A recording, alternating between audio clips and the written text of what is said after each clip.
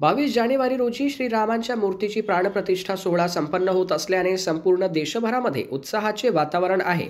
दीपावलीनंतर फटाक्यांची विक्री एवढ्या मोठ्या प्रमाणावर कधीही झाली नव्हती. बावीस जानेवारी रोजी होणाऱ्या श्रीराम मूर्तीच्या प्राणप्रतिष्ठा सोहळ्यानिमित्त विविध कार्यक्रमांचे आयोजन नागरिकांकडून करण्यात आले असल्याने दिवाळीनंतरचा हा सर्वात मोठा उत्सव देशभरात साजरा होत आहे. दिवाळीला एवढे फटाके विक्री होत नाही त्यापेक्षा काही पटीने उत्साह नागरिकांमध्ये दिसून येत आहे. लहान बालकापासून तर मोठ्यांपर्यंत सर्वजण वेगवेगळे व त्यांच्या पसंतीचे फटाके घेत आहे. दिवाळीनंतर सर्वात जास्त फटाके विक्री व नागरिकांमध्ये उत्साह दिसत असल्याचे फटाके विक्रेते सांगत आहेत.